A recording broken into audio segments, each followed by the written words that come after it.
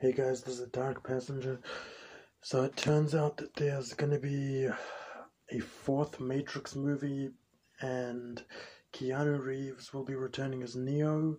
Carrie Ann Moss will return as Trinity. You know, the f- um, first kind of rumor, first thing we heard was that Michael B. Jordan was going to be in this fourth Matrix movie, but I guess I guess that was just a rumor, and it didn't end up happening. No, but this is official now.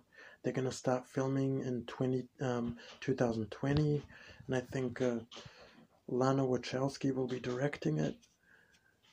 I'm not sure who else in the original cast in the original cast will will uh, will return, but I hope that Laurence Fishburne Fishburne returns as Morpheus. Although um, I'm not too sure how they'll bring Trinity back because I'm pretty sure she died at the end of Matrix Revolutions, unless they reset the story and just make it after Matrix Reloaded. That would make sense, I guess, if they did that. But yeah, you know, this is good news.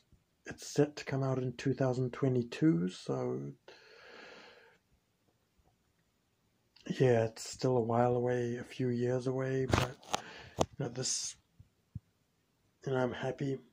I'm happy that this is happening. That we're finally getting another Matrix movie. I mean, I'm a, I'm a fan of those movies.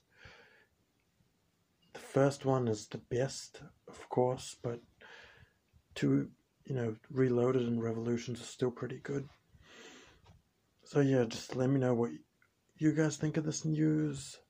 You know, I mean, I'm I'm happy about it. I can't wait for this movie to to come out and I'm glad that Keanu Reeves and Carrie Ann Moss are returning, and I'm going to keep my fingers crossed that Laurence Fishburne does as well.